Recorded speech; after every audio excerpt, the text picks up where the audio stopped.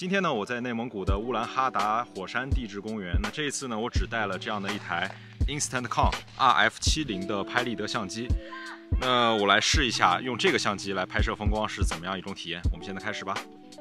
这个相机呢和一般的拍立得有一些显著的区别。那首先呢，它就是一个可以伸缩式的一个皮腔的设计。那其次呢，就是它的对焦是采用黄斑的一个机构。那这里呢是它的取景框，下面是它的黄斑对焦框。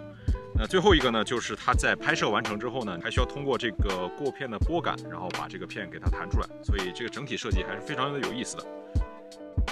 除了对焦和光圈是完全手动之外，RF70 的快门速度也可以手动调节，可以说是自由度相当高的一台拍立得了。在光比柔和的情况下，自动测光也是比较靠谱的。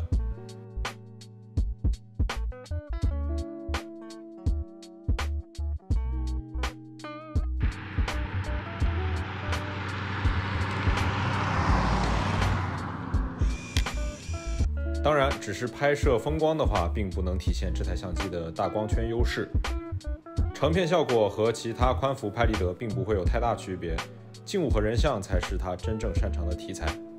在使用这个拍立得的过程中呢，我遇到一个很严重的问题，就是我每换一盒新的相纸，它的第一个遮光片是不自动吐出的，我需要手动把它取出来。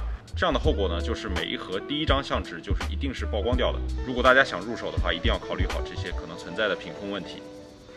这台拍立得的黄斑对焦并没有徕卡般的精准，反而更让我联想到之前我那台黄斑上下不重合的柯尼卡巧思。好在对焦的些许偏移在拍立得相纸上不会过于明显，焦内的锐度也体现出优秀的镜头素质。除去那些改装后背的中画幅相机，这台 RF70 或许是最有趣、最好玩的拍立得相机了。